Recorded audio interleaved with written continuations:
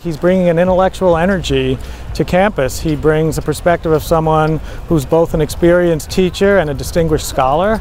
And it's that scholar-teacher nexus that for us is critical to everything we do here. So he embodies what I think is really the identity and the mission of Dartmouth. The first time I met him, I thought, this is a formidable scholar. I think for a faculty member, nothing is more important than having the leader of the institution be someone that set an example in their own life and work for the values that we try to embody. I'm sure that he will give us a good uh, look at what he plans to do with the uh, college in the future. Uh, I'm also thrilled that he is a Dartmouth graduate and has a good and deep understanding of the college. And uh, that, I think, at times has been missing.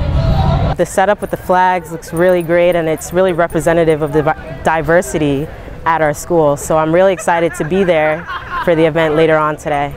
Not only is the Dartmouth community here, but the greater Hanover community as well. And so it's adding a lot of character and flavor to our campus as well.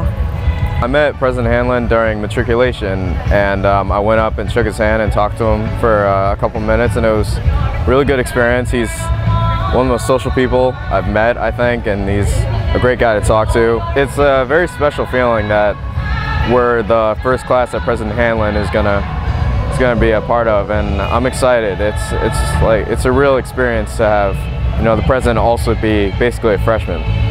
Oh, I'm so excited that we have uh, an alum at the head of Dartmouth. I, have spoken with him a lot, and it's he's really uh, it's it's a whole step ahead to, to have come from Dartmouth and have you be leading the institution. I think that it is great that he is staying involved in the day-to-day -day lives of students. Um, I think it's the kind of experience that um, you know might seem symbolic, but in reality is actually I think going to keep him very connected with what's what's going on on in people's everyday lives. He's asking questions. He's not coming up with a big agenda he's really trying to hear what is going on on campus and what students want, what faculty want, and take leadership as an inclusive thing. But I really liked that he said that the inauguration wasn't just for him, it was for our community, and not just a community for itself, but a community for learning, for furthering knowledge. He's a friend to exciting times, and um, that makes me think, ah, you know, the changing technology on campus, the changing face of the student body, and the changing research initiatives of faculty, all of that I think he can, he can really roll with and, and bring a new perspective and lead us in a way that I think you know, I, I, think we'll all benefit and we'll all look back at this time and say, wow, if it hadn't been for Phil, you know, I think I, I'm looking forward to that.